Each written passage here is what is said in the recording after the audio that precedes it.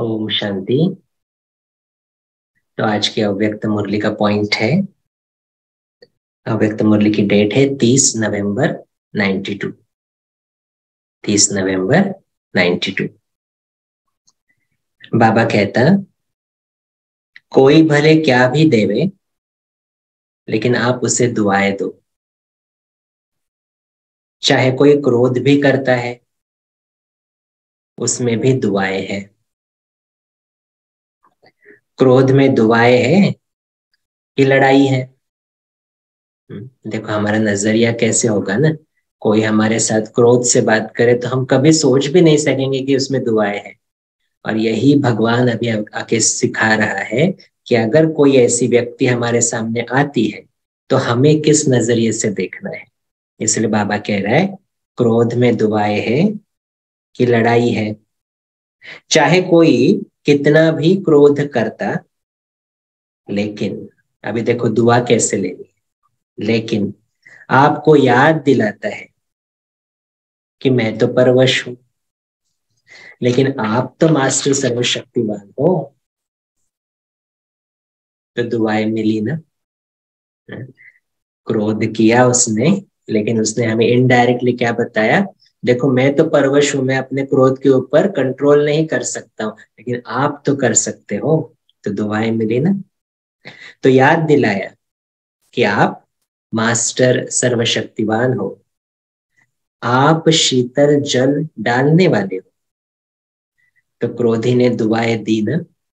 हम्म, देखो ऐसे विपरीत परिस्थिति में भी अच्छाई ढूंढना ये भगवान ही सिखा सकते हैं और कोई नहीं। इसलिए बाबा कहता है कि अभी हर परिस्थिति, हर व्यक्ति से हमें दुआ लेने की वो प्रैक्टिस करनी है। क्योंकि हर वक्त में अगर दुआ लेता रहूँगा तो दूँगा भी क्या? हाँ तो हर वक्त सारे के गुण ही देखता रहूँगा ना कि चलो क्रोध भी किया लेकिन उसने मुझे क्या रिमाइंड किया है? तो बाबा कहते क्रोधी ने दुआएँ दी ना। वो क्या भी करे, लेकिन आप उससे दुआएँ लो। सुना है ना? गुलाब के पुष्प में भी देखो, कितनी विशेषता है। कितनी गंदी खाद से, बदबू से खुद क्या लेता है? खुशबू लेता है ना? गुलाब के पुष्प की खाद स्मेल की है कभी? बहुत गंदी रहती है। लेकिन गुलाब का पुष्प की जो खुशबू, वो तो मालूम है। तो उन्होंने गंदी खाद ली, लेकिन वापस रिटर्न क्या किया? खुशबू। तो गुलाब का पुष्प। बदबू से खुशबू ले सकता है और आप क्रोधी से दुआएँ नहीं ले सकते। तो विश्व महाराजन, गुलाब का पुष्प बनना चाहिए या आपको बनना चाहिए? क्या समझते हैं? गुलाब का पुष्प देखो निगेटिविटी से पॉजिटिविटी दे रहा है और हम क्या सोच रहे हैं? उसने ऐसा बात किया तो मुझे भी ऐसे ही करना पड़ेगा।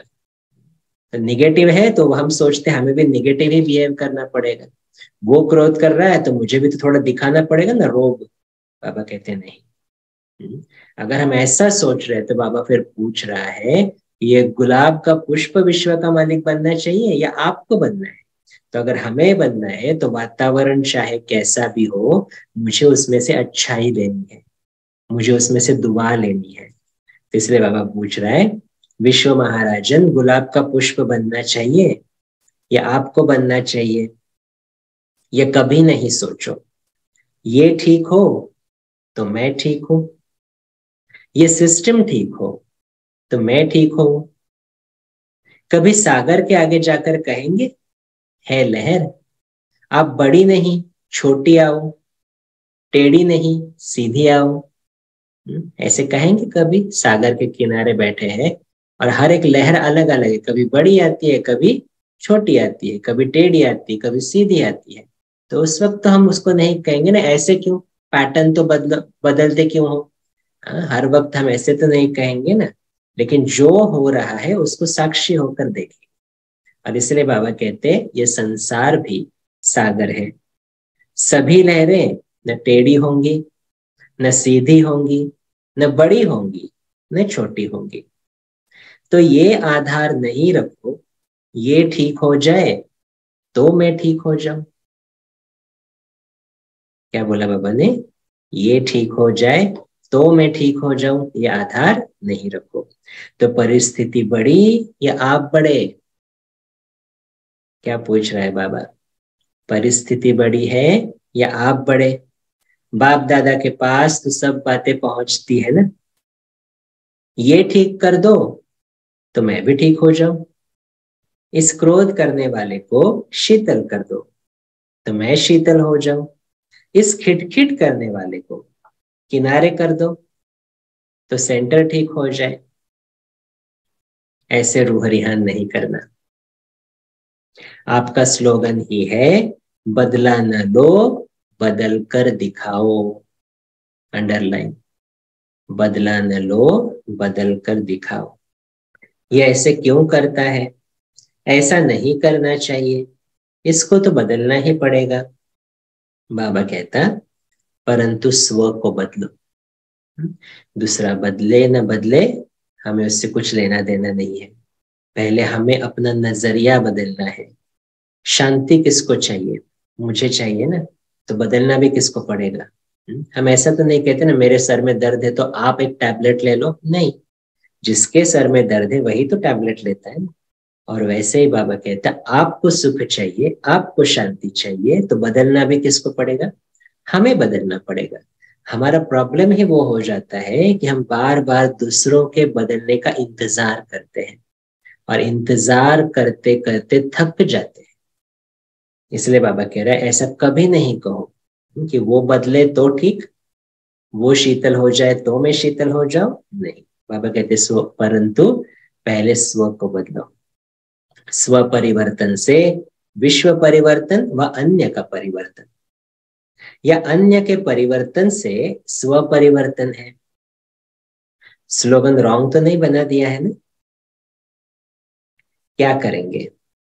स्व को बदलेंगे या दूसरों को बदलने में समय समय गवाएँगे? क्या सोचते हैं? हमें खुद को बदल कर इजी होना है या वेट करना है दूसरों को बदलने का? देखो, लौकिक में हमने क्या किया ना? आज तक यहाँ आने से पहले तो वही किया, दूसरा बदले उसका इंतज़ार। और इसलिए वो उसने कहा, मैं अपने तरीके से ठीक हूँ, हम कह रहे हम अपने तरीके से ठीक है, कोई भी नहीं बदल रहा है। इसलिए तो रिश्तों में ईगो रिश्ते क्यों दूर हो जाते हैं? क्योंकि तू पहले सॉरी बोल और वो कहता है, तू पहले सॉरी बोल। कौन झुकेगा? मैं तो अपने साइड से राइट हूँ। वो कहता है मैं भी अपने साइड से राइट हूँ। और इसलिए बाबा क्या कहता है कि अपने को बदलो दूसरे को बदलने के लिए हाँ, दूसरा बदले या न बदले उसमें समय नहीं गवा फिर बाबा कहते चाहे एक वर्ष भी लगा कर देखो स्व को नहीं बदलो और दूसरों को बदलने की कोशिश करो। समय बदल जाएगा लेकिन न आप बदलेंगे न वो बदलेगा। एक साल के बाद वो कहेगा मैं राइट था और हम कहेंगे मैं राइट था। और इसलिए उसका कुछ सॉल्यूशन नहीं निकलेगा।